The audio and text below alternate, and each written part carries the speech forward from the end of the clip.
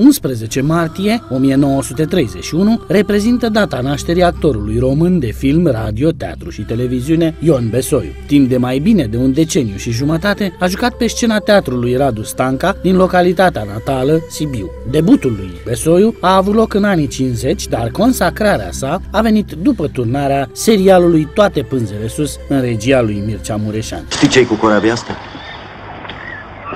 Știu și cu asta, și cu aia de mai la vale, și cu aia, dar să nu mă întrebe anul. Astea sunt nelegiurile lui Spână.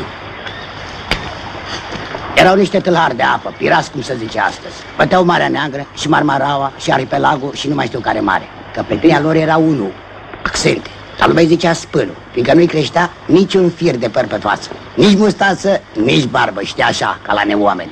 Nu știu dacă e adevărat că de văzut nu l-a văzut nimeni. Zecile de roluri jucate în film, dar și anii de lucru pe scena și la conducerea Teatrului Bucureștean Bulandra au făcut din Ion Besoiu unul dintre actorii îndrăgiți ai românilor, iar colaborarea sa cu televiziunea națională i-a permis actorului realizarea unor scenete excepționale. Un exemplu îl reprezintă Tristețea vânzătorului de sticle, unde partener este Octavian Cotescu.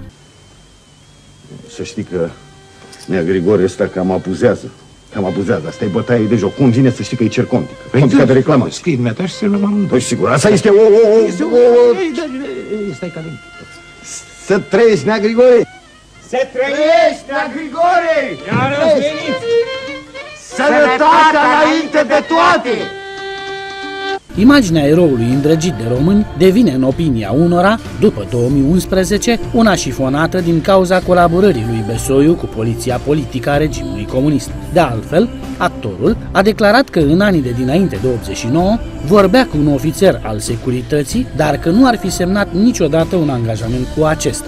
Totuși, Curtea de Apel București, solicitată de Consiliul Național pentru studierea arhivelor securității, a constatat calitatea de colaborator al fostei securități a lui Ion Besoiu în 2011.